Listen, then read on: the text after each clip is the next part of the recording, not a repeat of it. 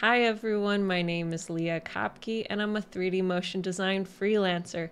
I also have a podcast where each week I cover another 3D modeling tool for Cinema 4D. Hello and welcome. Today we are going to go over a 3D modeling tool for Cinema 4D called Straighten Edges. And this is actually the 100th video I've made for YouTube, which is really exciting, and the 56th episode of this podcast. So that's a lot of videos when you think about it. I'm kind of amazed that I've done that. But let's jump into Cinema 4D and show how this tool works. Here we are inside of Cinema 4D. Just to start off with, I want to talk about what I did here to 3D model this. I'm going to check off these right over here. And you'll see that I drew this spline with the spline pen tool that we've gone over in the past.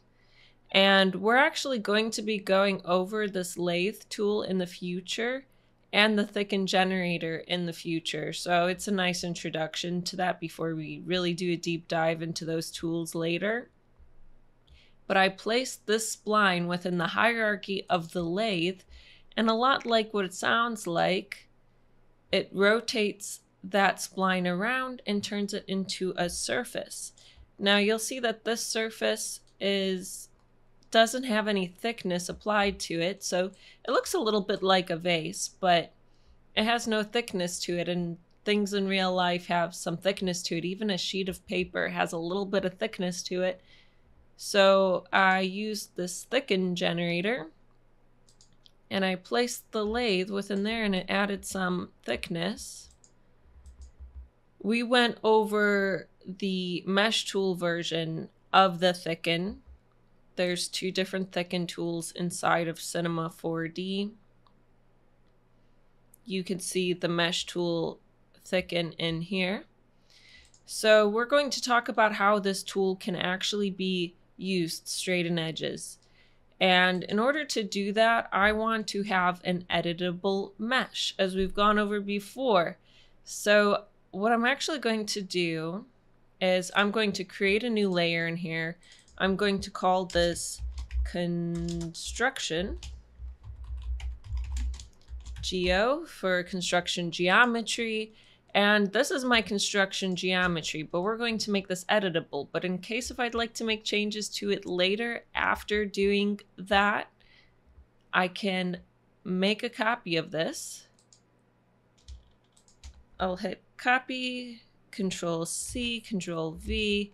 It's command on a Mac. And now we have a copy here. So we have two of these and they're overlapping. I'm going to take the first one and I'm going to drop it within this layer. And the layers are a lot like what they are inside of Photoshop or Illustrator. You can hide them from your viewport by hitting this eyeball icon right here. You can hide it from your render by hitting this icon here. You can hide it from being listed in your object manager by hitting this icon here. And you'll actually be able to see this a little bit better if I were to move this out here first before clicking on those. So I'll move this out here. You can see it's right here, our original, and you can see that the color of our layer was applied to our object. I'll hide it from our viewport. So now we can't see it in our viewport. We can hide it from our render by hitting this button. We can hide it from our object manager by hitting this button, and now it's gone and we're just left with this. So now we have a copy that we can mess up as much as we want and know we can go back to that original without being worried. So I'm going to hit the C hotkey to make this lathe editable. I have the lathe selected. I'm hitting C. Same thing as this icon down here. And now you can say see that it's turned into a mesh. And we've gone over the hotkey UL for loop selection in the past and how that works. I can leave a link to the tutorial on it if you're interested in learning more about it in the description below. I'm turning off the thicken tool right now because I want to focus on editing this mesh over here. Just quickly, I'd like to show you where straighten edges is located. Straighten edges is located right in here under the move. Under the mesh menu, move, straighten edges is right here. And that's where you can find it. You can see it's grayed out right now because I don't have anything selected on here. So we need to do that and I'm going to use the loop selection to do that. For right now, I'm going to go from my layers menu to my attributes manager again so that I can see our options while we're using these tools. I'll click on edges mode so that we can select some edges. So if you remember when we covered the um, loop selection tool, you have this option here, stop at selections. That's what I want to do. I only want to straighten the edges on this section here. Let's say I made this really curvy vase and all of a sudden I decided I think it would be really nice to have this section up here straight. What's the easiest way to do that along this curved lathe surface here? Straighten edges. So we only want to straighten this top section. So I need to choose where we stop straightening with our selection. So I'll click up here, this loop here, and I'll hold down shift and I'll click down here, this loop here. Now we have two loop selections. So as I hold down shift and I go around this and select all these other loops, it's stopping at my selections. It doesn't go beyond those selections. We probably could have just gone away with selecting that bottom one, but I just want to show you that you can choose more than one selection to have these stop at. So when we use this tool, we're only straightening this. So I'll go ahead around here and select all of these.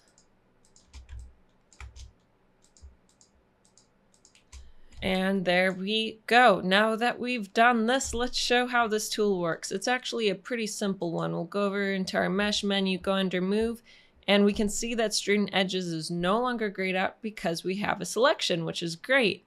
So we'll click this right here. You'll see it shows up in our attributes manager it really only has two main settings. It has strength and equal spacing. So let's talk about strength. You can adjust your strength in here and then hit apply in order to have it take effect. Or you can click and drag your mouse and you'll see that the strength is increasing. And we're seeing this update in real time inside of our viewport. And this is straightening out.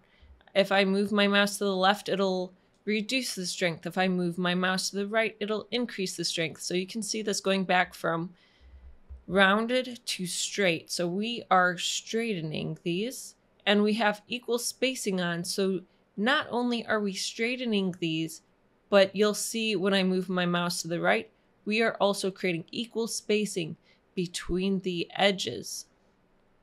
If you turn this off, it won't create equal spacing, but we did because we kept it on.